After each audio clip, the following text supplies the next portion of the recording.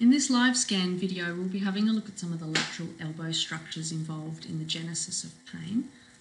One of the main culprits, of course, is the common extensor tendon, and you can see its component tendons, and we're going to divide it into thirds today. There's also the underlying lateral ligament complex, and then there's the synovial plica and the joint capsule, and there's intra-articular causes that we need MRI for. So four initial probe positions. The first one will be at the supracondylar ridge, and then the next three will be in the common extensor tendon, anterior third, central third, and posterior third. And these are required to accurately then assess the underlying ligaments. So there's extensor carpi radialis longus, it's muscular. As we sweep down in the axial probe position, we can fall onto extensor carpi radialis brevis. Then we progressively move towards the olecranon, through the central and the posterior third, and you can see how the common extensor tendon thins out. We learn to then identify an interface, and this interface shows us where the ligament complex is. So those four probe positions again, ECRL falling onto the anterior third of the common extensor tendon, quite a vertical probe approach, and then the probe slightly rotates clockwise to align with the forearm and then oblique and swept in from behind to fall on the extensor carpi ulnaris, which is the posterior third. And that's the LUCL, just underlying that. So more on those ligaments shortly. Underlying the ligaments, of course, is the joint capsule, and in some patients there's a radiohumeral synovial plica. So this is an uh, embryological remnant and it may not be present. We need to be familiar with the look of cartilage around the capitellum and radial head and not confuse that with synovitis or fluid. So this fibroadipose synovial plica can enlarge and become contused and through trauma uh, or even genetically can be enlarged and can cause a stiffness or a snapping and clicking in the joint. So while this is a 50 year old patient, this synovial plica can be symptomatic in paediatric cases. So we look for fluid in this location and this location, look at the size and shape of the plica, have a look at the cartilage and the underlying bony surface, so you can see a little pit here, and consider it in the context of the other findings. So the ligament calcification here could be symptomatic. The, there is obvious tendinopathy in the common extensor tendon. And if we are looking for the main culprit in pain, we can also look with Doppler. So here's the synovial plica outlined in red with positive Doppler signal and extensive Doppler all along the enthesis. There's no cutoff for plica size, but it's an evolving area of science we need to be familiar with. These are the findings common in tendinopathy, but we're not primarily concerned with pathology today. I will mention that even in a normal looking tendon, we can identify Doppler if we extend the elbow slightly out of the 90 degrees flexion and have very light probe pressure so that we're not compressing the blood vessels. So that's a major pitfall when looking for neovascularity.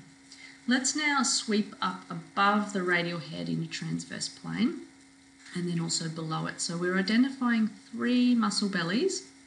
Extensor carpi ulnaris to left of screen is most posterior, the extensor digitorum minimi in the middle and extensor digitorum to the right of screen is most anterior. Now these all form a conjoint tendon, but if you isolate the extensor carpi ulnaris, it's a really good stepping stone for identifying the lateral ulnar collateral ligament.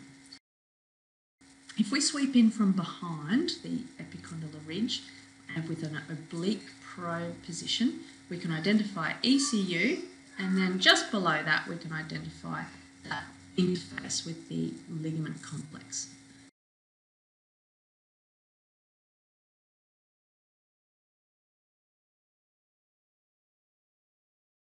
So the best place to find the ligament complex is over the central third of the common extensor tendon. So we sweep down past ECRL. So you can see it's an axial plane relative to the humeral shaft. And then once we're below the supracondylar ridge, we oblique slightly to align our probe with the axis of the forearm, the long axis. This muscular triangle shouldn't be confused for fluid. This is extensor digitorum communis, so the muscle. So the extensor carpi radialis brevis is a thick aponeurosis and it's deep, and you can see that it traverses the radiocapitellar joint. When we rotate into a transverse plane on this aponeurosis, you can see it's quite broad. And as we move distally towards the wrist, it forms this undulating line called the scorpion's tail. And there's no clear distinction between the ECRB and the ECRL muscular bellies. But we do see a distinction with the extensor digitorum communis. So we can follow that EDC all the way to the wrist and of course that's compartment 4 at the wrist, containing extensor tendons for the digits. Moving on to the lateral collateral ligaments then, and we'll talk about three main ligaments. The first being the annular ligament, and its insertion is shown with a yellow arrow, so it encircles the radial head. And you've got the radial collateral ligament, which inserts into the annular ligament. And posterior to that is the lateral ulnar collateral ligament. And you can see how it's oriented towards the ulna, so it inserts into the supinator crest. If we place our probe over the radial collateral ligament, we may detect ligament tears. So these are tears of the proximal origin. This also is a ligament tear, not to be confused with a tendon tear. And when we're over the anterior common extensor tendon, this is definitely not a ligament tear. Now you'll notice a normal degree of anisotropy when you're on a ligament. Watch how the probe is rotated obliquely to find the lateral ulnar collateral ligament. So it sits under ECU. We don't want to see annular ligament, so we rotate that radial head out the way and point our probe over towards the ulnar and we push the distal end of the transducer really hard to flatten out this thin ligament here. And this is the lateral ulnar collateral ligament insertion. And you may notice a little artery that's pulsing just over the distal insertion under anconeus. The other way we can identify it is with this cobra position. So find the distal biceps insertion with the pronated forearm, and then we just move down towards the olecranon, and we can fall onto this LUCL insertion that way as well. So cobra view, pronate the forearm, find the distal biceps insertion in axial view, slide south towards the bed, and we can fall onto the distal LUCL that way. Now it may share a common insertion with the annular ligament. With the annular ligament, we can find it more easily in an axial probe orientation just by sliding around the radial head. And it's usually a little more proximal to the distal LUCL insertion. So back to ECRB. Now, it's only as we slide more posteriorly onto the central third of the common extensor tendon that we'll notice the radial collateral ligament. And this anisotropy really gives it away. So that's normal appearance of the RCL. Distally, it inserts into the annular ligament, shown in yellow, and you may notice effusions in the annular recess when the joint is abnormal.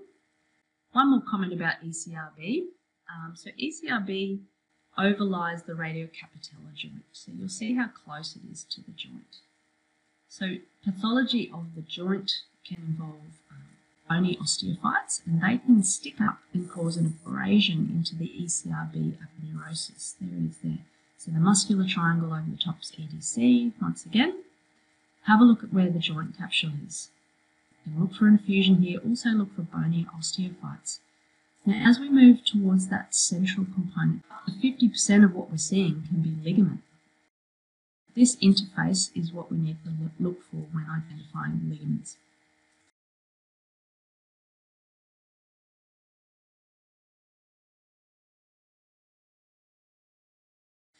Finally, in your complete assessment, it's also worth noting that the deep branch of the radial nerve is beneath this scorpion tail of the uh, ECRB. So you'll notice it here, just scooting over the surface of the supinator. So complete sonographer's report should note any pathology causing extrinsic compression around the radial nerve and its two terminal branches.